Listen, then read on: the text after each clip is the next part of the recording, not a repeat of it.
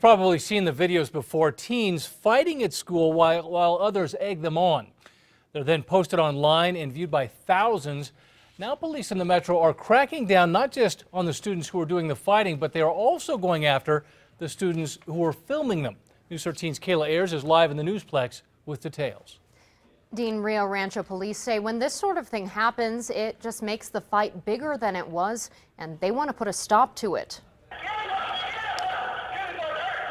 Kids beating other kids up, then posting videos of it online. We've seen it again and again in the metro. Ah, Late last month, police say a Cleveland high school student was jumped by another teen between classes. According to a Rio Rancho police report, she was punched, slapped, and knocked onto the ground before security broke up the fight. Her alleged attacker was charged with battery, but it wasn't long before the victim realized she was also being victimized online. It ended up coming out that the fight had actually been filmed um, using cell phones. Police say video of the fight was posted on Facebook and shared over text. It's something that keeps getting relived over and over again, and it gets shared.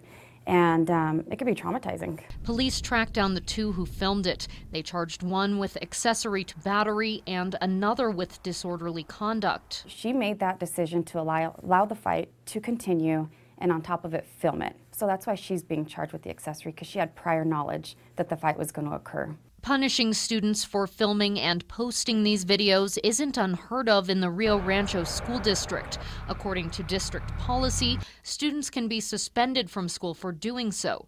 Rio Rancho police say a crackdown on students who film and share these videos is new for their department, but it's not going to stop. It's the last thing that we want happening. I mean, I think by sharing it, it just kind of feeds into it and it just gets more embellished and it gets bigger.